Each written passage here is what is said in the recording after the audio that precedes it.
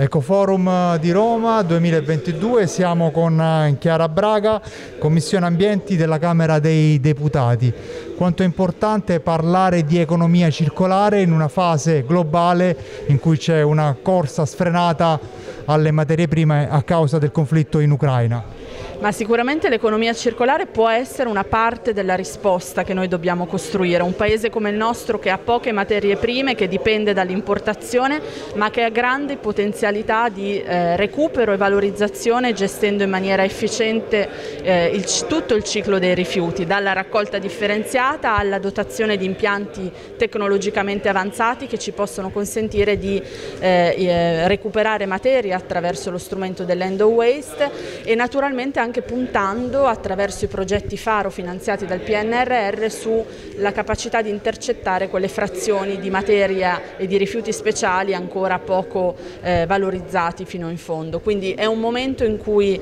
le ragioni dell'economia circolare sono ancora più forti di prima e ragionare insieme a tante voci e a tanti interlocutori come ci invita a fare Lega Ambiente è sicuramente un'occasione preziosa anche per il legislatore. Le imprese ci sono, al MITE sono arrivate migliaia di proposte per la realizzazione di nuovi impianti di trattamento dei, dei rifiuti, ora tocca alla politica, alle istituzioni dare delle, delle risposte concrete. Sicuramente la risposta molto positiva che c'è stata eh, sul bando emesso dal MITE eh, con i fondi del PNRR dimostra che c'è una consapevolezza e anche una capacità progettuale eh, delle imprese. Ora si tratta di essere rapidi nell'assegnazione delle risorse ma anche delle autorizzazioni, il vero tallone d'Achille che molti ancora ci eh, segnalano e, e riuscire a usare davvero queste risorse per potenziare, migliorare, eh, innovare i sistemi di raccolta e soprattutto dotare territori che oggi sono ancora fortemente carenti di impianti moderni ed efficienti per gestire al meglio il ciclo dei rifiuti.